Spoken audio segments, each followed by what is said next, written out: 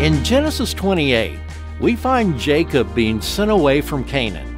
Well, he's actually fleeing Canaan. He's tricked his father Isaac, stole his brother Esau's blessing, and Esau is plotting revenge in the worst kind of way. We're told when Jacob laid down to rest, he dreams of a stairway to heaven.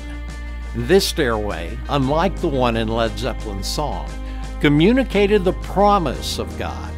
Listen to the description beginning in verse 10. As he slept, speaking of Jacob, he dreamed of a stairway that reached from the earth up to heaven. And he saw the angels of God going up and down the stairway. At the top of the stairway stood the Lord, and he said, I am the Lord, the God of your grandfather Abraham, and the God of your father Isaac. The ground you are lying on belongs to you. I am giving it to you and your descendants. Your descendants will be as numerous as the dust of the earth.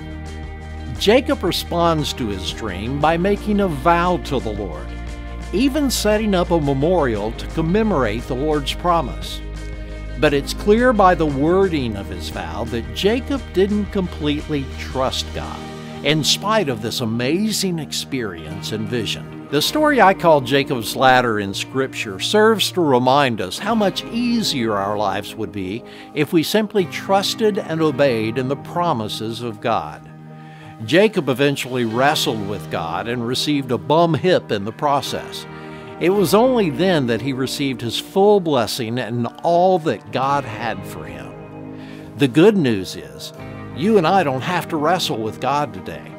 His promises and blessings are written down for us in His Word. And like Jacob, our lives, your life and mine, will be so much easier if we simply trust and obey.